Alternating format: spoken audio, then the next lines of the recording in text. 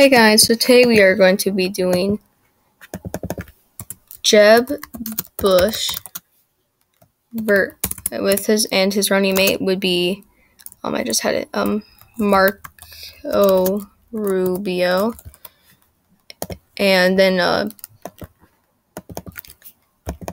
versus Hillary Clinton with her running mate being Stacey Abe Oops.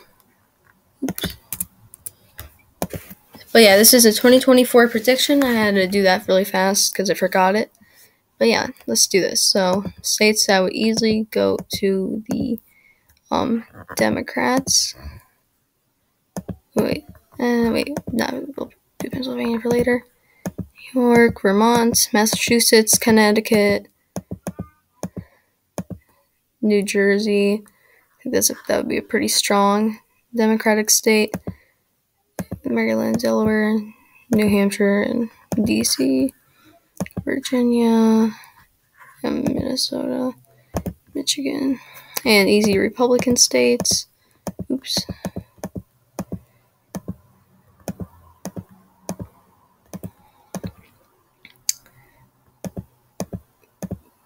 Yep, I think this. Uh, wait.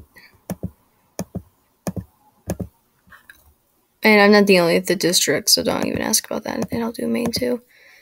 Those are just super complicated. I forgot to give Hillary Clinton Hawaii. But yeah, these are the strongholds of wait, Hillary Clinton obviously get Illinois. So Jeb Bush, I think, would be a not very strong candidate, uh, but he would win Texas. I think he would win um, a, like the Deep South mostly. Um, I think he would win Florida because he would do really well with the Hispanic vote, and with he would also win Arizona, because um, yeah, I think he he's really well with the Latino vote, so I think he would do well. Um, I think North Carolina would go to Marco Rubio. I mean, not Marco Rubio, Jeb Bush, but Hillary Clinton, because Stacey Abrams is her running mate, she would win Georgia, and Nevada. That I think we go to Jeb Bush. Actually, I think that would go to Hillary Clinton. Um, I don't know. I just have a feeling. Hmm. Actually, yeah, Jeb Bush would Nevada. Okay, I'll stop now. Let's see.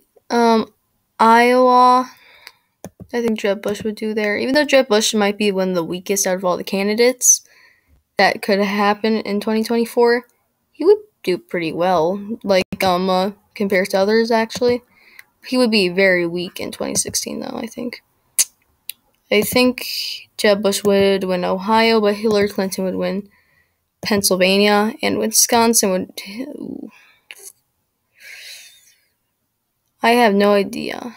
I think Hillary Clinton would win that one. Yeah. Hillary Clinton would win um, with 286 electoral votes. It would be closer than um, the 2020 election but yeah, tell me what you guys think in comments. Think, tell me if you think I should have did more less states for Jeb Bush, because I think maybe some people might think that. But yeah, tell me in the comments. Bye, and I'll see you guys again.